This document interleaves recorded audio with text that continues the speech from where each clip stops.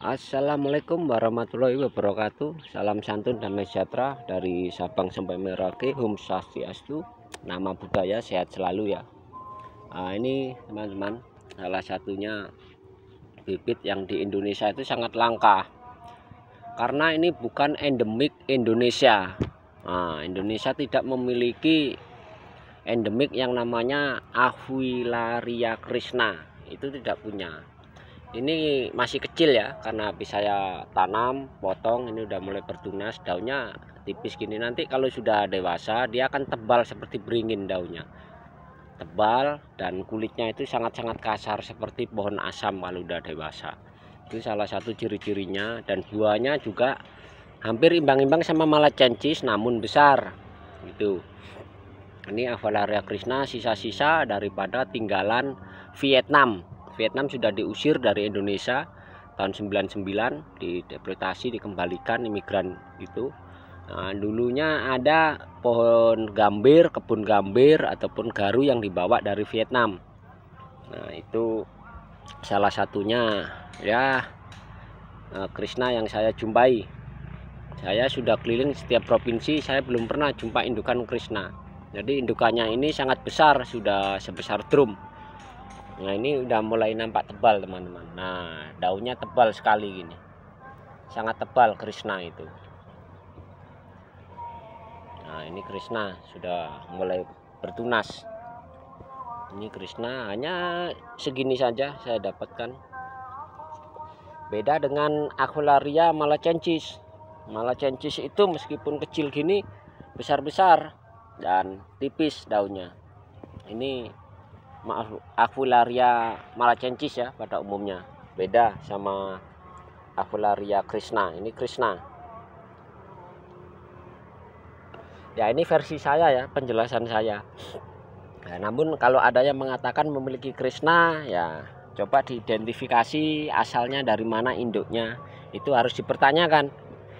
Karena di Litbang Bogor aja sekarang sudah tidak ada Krishna itu. Pernah ada mati ya nggak tahu kenapa. Karena saya sudah sampai di sana saya identifikasinya itu arahnya udah nyampe ke sana. Maka daripada itu saya berani mengatakan sesuatu eh, yang memang ada buktinya secara ontetik nah, ini salah satu pembibitan kita yang belum selesai ini nanti akan ditambah lagi. Ini jenis Avalaria malacensis yang batang kuning untuk produksi minyak. Jadi oleh pengamatan saya dan pengalaman saya yang ada selama ini Avalaria malacensis itu banyak jenisnya. Meskipun itu malacensis ada yang produksi khusus minyak. Batangnya cirinya seperti ini ini nih dan batang yang putih seperti apa itu juga berbeda. Nah, sangat banyak eh, ragam-ragam eh, daripada eh, jenis Avalaria eh, malacensis ya ya ini udah ketanam sekitar sudah mau 3000 ya 3000 udah mulai banyak bertunas yang kita ambil cabut dari kebun ya. Nah ini pertunasannya. Udah mulai tunas semua. Udah mulai tunas. Ini belum lama sekitar 10 hari ya saya tanam. Perlakuan seperti biasa memakai rot up sama B1 B-star untuk mempercepat uh, pertumbuhan tunas akar dan mengurangi stres daripada pohon. Karena saya sangat ekstrim saya potong semua akar sama batang. Berbeda pertumbuhannya dengan yang tidak dipotong itu teman sangat lamban. Nah, oke semoga menginspirasi pagi ini.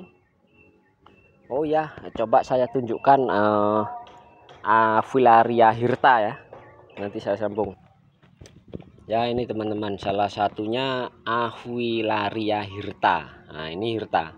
Ini batang saya pindahkan sangat lama.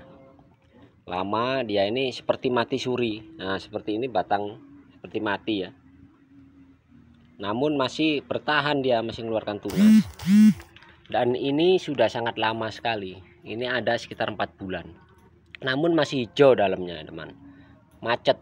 Nah itu masih hijau ya nggak mau keluar daun. Nah, ini yang udah mulai sehat. Ini hirta. Nah ini daunnya hirta. Ini hirta sangat lama sekali. Ini saya coba. Nah di dalam sini udah ada isi kayak gini teman. Hirta itu meskipun luka kecil ini berisi di dalam. Beda pada umumnya dengan garu-garu jenis yang besar ya. Nah, hirta juga dibagi menjadi ada empat ada hirta macan, ada hirta gajah, pantai dan lain-lain itu batangnya mempunyai ciri khas masing-masing. Sangat berbeda. Ya oke, semoga pagi ini menginspirasi dan bermanfaat. Saya akhiri. Assalamualaikum warahmatullahi wabarakatuh. Salam santun dan sejahtera dari Sabang sampai Merauke. Um Swastiastu, salam santun. Sehat selalu, semangat dan semangat.